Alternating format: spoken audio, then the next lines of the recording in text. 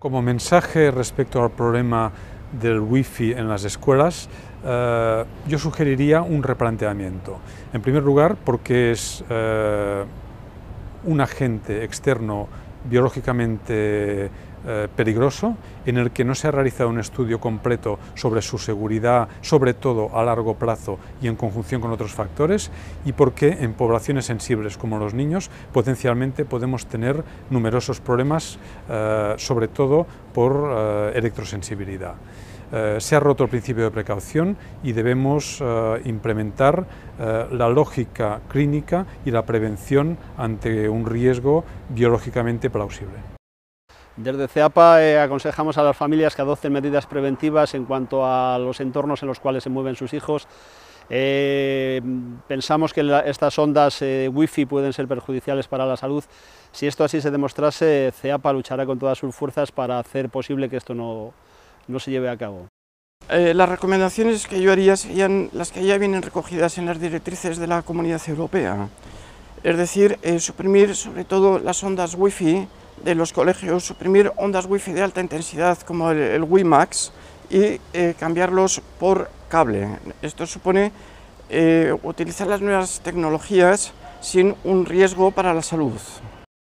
Reflexionando sobre mi caso de diagnóstico de electrosensibilidad y otros casos de compañeros con el mismo diagnóstico y casos de compañeros que están de baja por síntomas que quizás no asocien con la emisión de radiofrecuencias Wi-Fi y WiMAX en sus centros educativos, me hace pensar que quizás esto sea un problema que en el futuro, o, no ya en el futuro, sino en el presente, sea un problema grave de salud tanto para profesores como para alumnos, porque cada vez están aumentando las potencias de Wi-Fi y WiMAX en los centros educativos y cada vez se ve pues, que hay más personas pues, que tienen insomnio, dolores de cabeza, etcétera, e, etcétera, etcétera. Yo particularmente no estoy en contra de las nuevas tecnologías, al contrario, pero sí de, eh, soy favorable a un Internet por cable y no por ondas electromagnéticas, no por Wi-Fi. Todos los ciudadanos tenemos derecho a que se nos proteja la salud y tenemos derecho a que se nos proteja de aquellos elementos contaminantes que pueden ser nocivos o peligrosos para la salud, según los organismos científicos más protectores de la salud.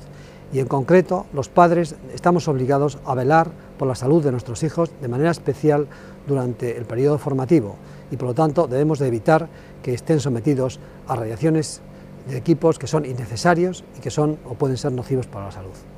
A los padres que les preocupa la situación que, van a tener que vivir en las escuelas con sus hijos expuestos a, microondas durante tantas horas, yo les aconsejo que vayan a las consejerías, a las administraciones, a, las direcciones provinciales, que hagan citas y que, que por favor, eh, indiquen que no quieren que sus hijos sean irradiados. Tenemos derecho a decir qué es lo que entra en el cuerpo de nuestros hijos y qué es lo que no entra. Y esto está probado que penetra en el cuerpo y que puede producir daños a la salud incluso graves, incluso predecibles. A los padres que se sienten impotentes porque las autoridades no les hacen caso, les recomiendo que se asocien, que, que quizá entablen contacto con la plataforma estatal y que intenten a través de las asociaciones y con todos los recursos que nos da la ley poner en claro que el derecho a la salud es un derecho constitucional y nadie puede quitárnoslo.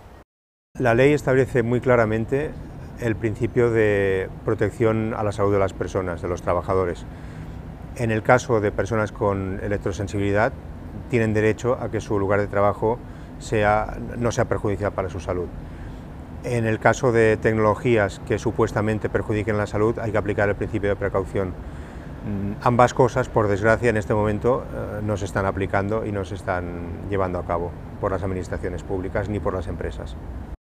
No debemos confundir Internet con Wi-Fi, son cosas totalmente diferentes. Internet es una red donde hay información y Wi-Fi es un sistema de transmitir datos de forma inalámbrica. Em, lo que hay que potenciar es que el acceso a la información siempre sea sano. No estamos en contra de la tecnología, pero pensamos que hay tecnologías más sanas que el sistema inalámbrico de Wi-Fi que se podría utilizar fundamentalmente con los niños, porque estamos hablando de personas de, nuestra, de nuestro futuro, de las generaciones futuras que están en pleno desarrollo y que son por tanto mucho más vulnerables a estos efectos de las radiaciones y que efectivamente no se conoce cuál va a ser el resultado hasta que pasen 20 años y entonces a lo mejor será tarde y tendremos que lamentarlo.